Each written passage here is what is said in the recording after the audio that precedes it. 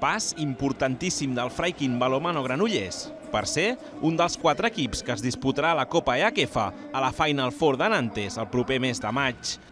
Els de Carlos Viver van vèncer per 30-24 davant el Silkeborg danès i van completar un autèntic partidàs que els hi va valdre per viatjar a Dinamarca la setmana que ve amb una valuosa renda de 6 gols.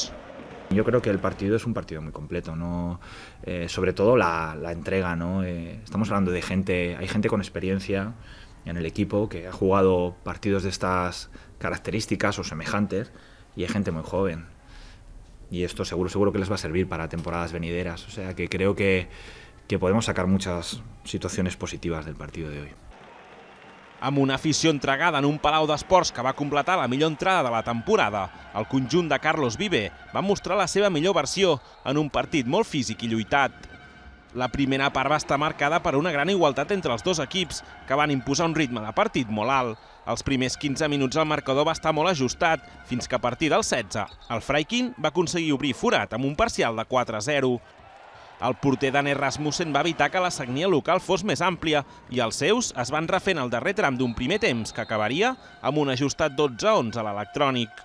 Agradecer a la afición pues, el empuje que nos ha dado, que es mucho, igual que, que la fase de grupos nos ayudó pues, a, estar aquí y, bueno, y pensaría en, en la vuelta que va a ser muy duro, que vamos a estar en, su casa uh, con su afición, va a ser completamente diferente y bueno, tenemos que estar preparados para cualquier situación que pueda pasar allí y bueno, como ha dicho Carlos, seguir soñando con, con la Final Four que, que no es viene grande pero que estamos luchando por ello. A la represa el va sortir en tromba i a poc a poc van ampliant l'avantatge. La màxima eficàcia notadora de Canyelles, Pacheco i Arnau Garcia va posar les primeres pedres d'una important victòria europea del conjunt granollerí. La defensa dels de Carlos Viver va estar platòrica, com també Almeida sota pals. Els ballesans van rendir a un nivell altíssim i van arribar a aconseguir un màxim avantatge de 8 gols, 28 a 20, a dos minuts de la botzina final. Tot i això, el Silkeborg va aconseguir retallar dos gols en els dos darrers minuts i el partit va acabar amb un 30-24 al marcador, un resultat que permet al Freikin Balomano Granollers viatjar a Dinamarca amb una bona renda de gols.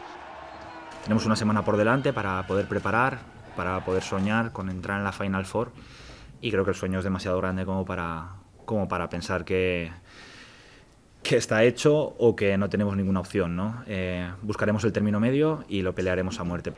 Queden 60 minuts, 60 minuts perquè el conjunt ballesà es planti després de 6 anys en una altra final europea. Us ho dèiem abans, el Palau d'Esports de Granollers va batre ahir el rècord d'assistència d'aquesta temporada, amb 2.400 aficionats que no van parar d'animar el Freiking Balonmano Granollers, una tarda de màgia europea en la qual el públic va donar la força necessària al conjunt granollerí per completar un partit extraordinari. Un partit de nervis, d'emocions i d'eufòria desbordada en el tram final, i és que el marcador 30-24 ho deixa tot de cara pel partit de tornada, un dia decisiu en el qual l'afició no va fallar. Les banderes del club no van deixar d'onejar durant els 60 minuts del partit, així com els sons dels tambors.